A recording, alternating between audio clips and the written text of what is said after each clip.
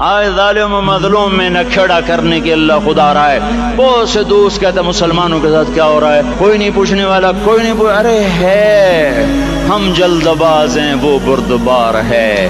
वो जालिम को भी देख रहा है, मजलूम की आहें, सिस्कियाँ भी सुन रहा है। काफिल नहीं है, अल्लाह का अर्श हिलता है, जब मजलूम कप कपाता है। मजलूम काफिर भी होगा तो अल्लाह उसका साथी बन जाएगा।